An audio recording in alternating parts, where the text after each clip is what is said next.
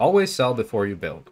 We've made it as easy as possible to validate product ideas by automating the entire process of setting up Stripe subscriptions, Supabase for user data and logins, and even Vercel to deploy AI generated websites and validate your ideas in minutes. Generate landing pages, dashboards, and even entire products just like we did, step by step, like speaking to a software engineer.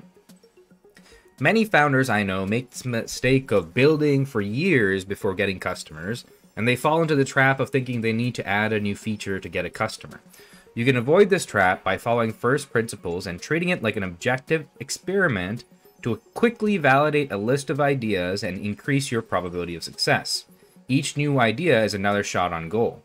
Live Mode now even uses Ideogram 2.0 to generate relevant hero picture, pictures, product photos, and logos for you live. This is the first website editor on the planet to use the state-of-the-art image generator, Ideogram 2.0, which currently beats even DALL-E and Flux. This allows strongly validating ideas quickly by charging customers with a professional landing page from idea to paying customer in 5 minutes flat. It even generates logos for you. Even developers seem to have a hard time with authentication, since there's no API to really set this stuff up yet. And so we actually automated the entire process in the browser using CheatLayer itself. Simply save all of your keys following this tutorial, and we automate all the hard parts. It's kind of magical and fun to watch. Next, you need to get your landing page in front of customers to validate it, and we're helping with that too. So after you've generated your landing page using live mode, you'll be presented with this uh, website that's been published on cheatlayer.com slash atlas. And if you hit Alt S, you can hit Alt again to select any element you want and edit it in real time. You can edit it using this pop-up modal or ask Project Atlas to edit it like a software engineer. This can add functional tools, apps, games, uh, basically anything you can imagine in a browser. So very quickly, I'm going to generate a new landing page to go through the process from end to end. Once you generate the landing page, you can see it's instantly published to our cheatlayer.com website you, so you can share it with friends. But it also starts the process of deploying it to GitHub, then setting up Stripe for you, configuration, configuring GitHub for authentication, setting up Supabase as your database for users, and then even deploying it to Vercel.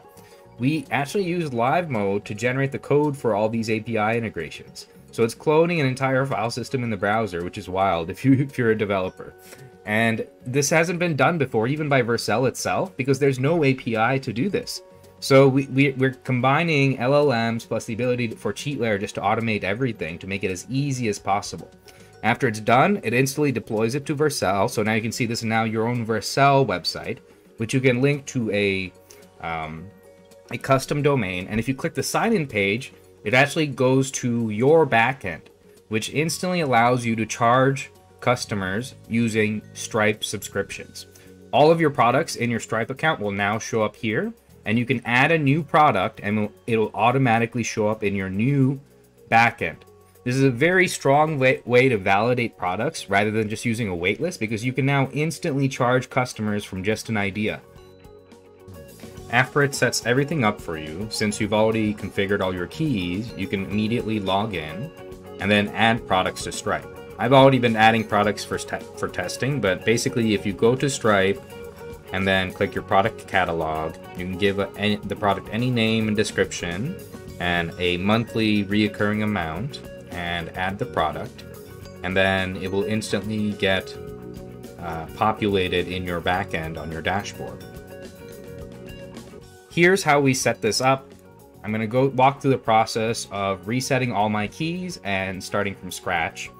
So in the CheatLayer agents dashboard, you can click agents settings, and then we need to set up Supabase, Vercel, Stripe, GitHub, and Ideogram. So we're to start with GitHub. Open GitHub and log in.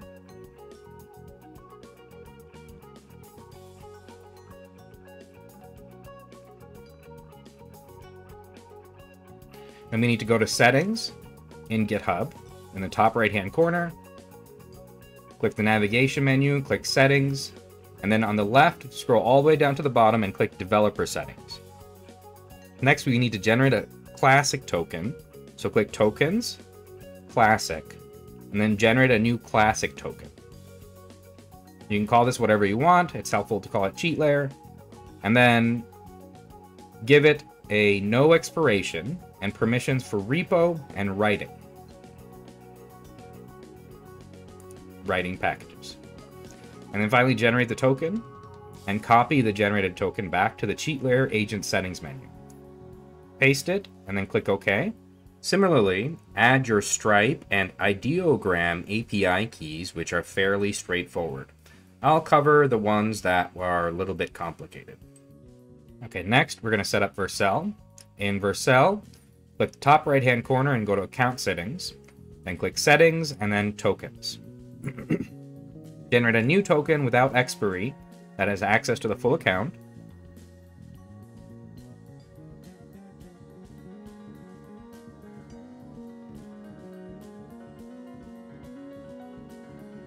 And next, we'll set up Vercel.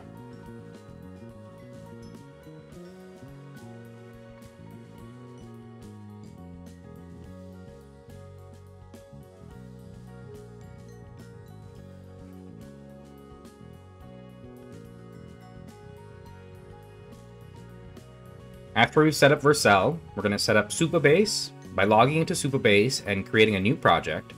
As soon as you create a new project, we'll be able to set up the API key and then go back to Supabase, get the service role key, and then the Supabase URL won't be ready until it's finished setting up the project. So for now, what we can do is go set up an account level token, access token,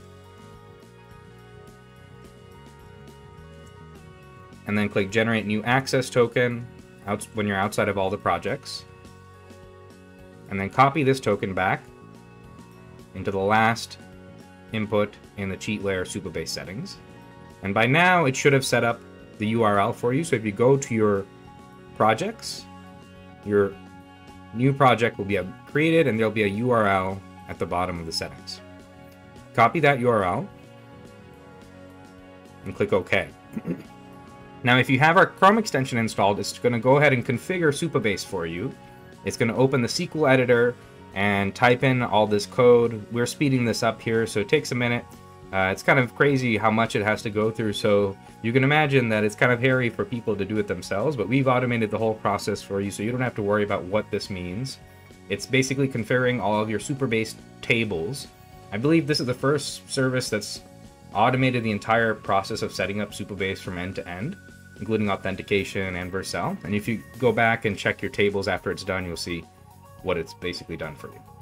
And then finally, we also need to install the GitHub and Vercel app and configure it to link to your Vercel account. Just make sure it has access just like this and click save. That's all you need. Now go get your first customer.